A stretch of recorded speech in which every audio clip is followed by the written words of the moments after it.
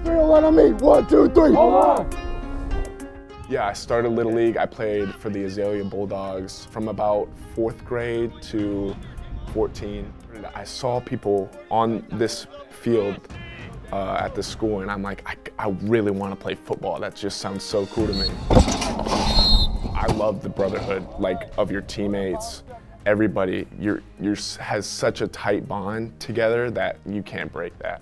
You make friends easily, easily, and you can count on them for sure. Like our motto here is count on me. If you got to count on the guy next to you that he will make you block. So that just that binds us together even closer. I'm a left tackle. We are the reason the offense moves how it moves. Without a good O-line, you can't, you can't be successful.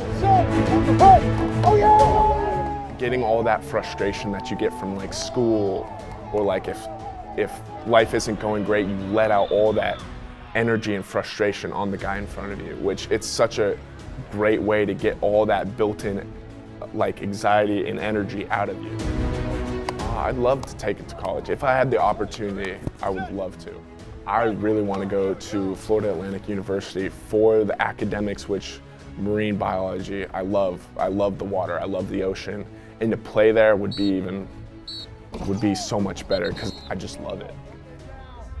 Academics are so important. I, if I don't have good grades, I don't feel like football should be in my life because I got to focus on grades first. They're number one. Of course, it's school first, then sports. Because you can go far with academics, you can only go so far with football.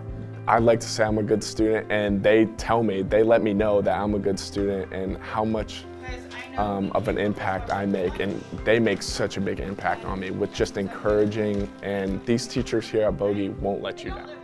I'm hoping to be part of probably a nonprofit organization cleaning up the ocean or building coral reefs and doing all that sort of fun, environmentally friendly stuff. So me and my dad started lacrosse at Boca. And it's fun because I get to go out and recruit, recruit players and um, kind of introduce them to the game of lacrosse because most of the students here have never even heard of the sport. And now they're playing it and they want to play it in club teams and go out and play it on their own. So the recruitment part is kind of the best part, going out and, and introducing someone to a new sport that they would have never tried. Leaders are important. Everybody looks up to you. Uh, I'm a team captain, so I have people kind of looking up to me. And once a leader falls, your whole team falls. People look to that leader when the game's not going well or, or a bad play happened. And if their head's up, everybody's head is going to be up. Once that leader puts their head down, the whole team will crumble.